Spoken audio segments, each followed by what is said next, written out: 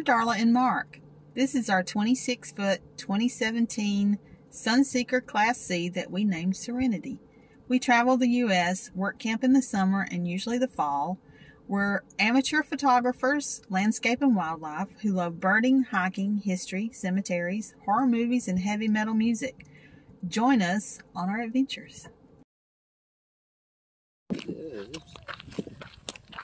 We're at San Angelo State Park, San Angelo, Texas, and this is the trail to the wildlife viewing area. There's a blind down here. And we haven't been here in many years, but this was one of our favorite places when we stayed here before. It was a javelina that hung out there and a lot of birds. so we're out on the trail this morning to go see if we can see some wildlife.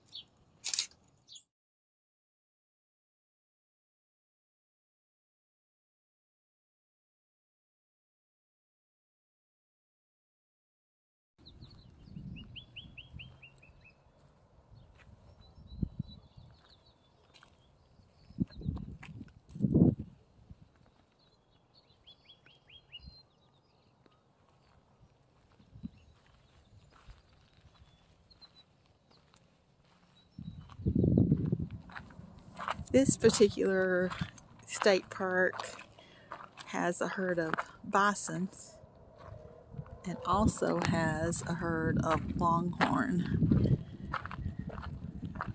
in a separate area right over here. State of Texas Longhorn Exhibit Herd. We've seen these at a couple of different state parks. But there's, if you can see them right out there. Can't see their horns, but that's them.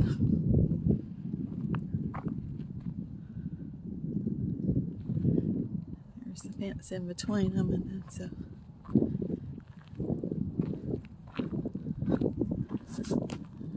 pretty cool state park.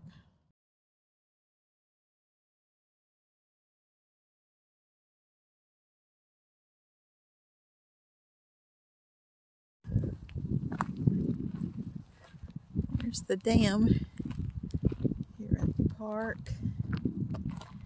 and the lake. It's way down. Because here's the boat ramp right here.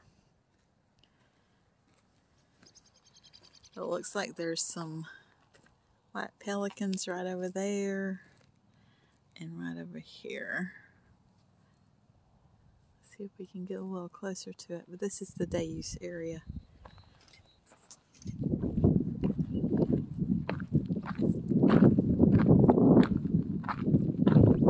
We found the longhorn herd. It's be lunchtime. That one's pretty.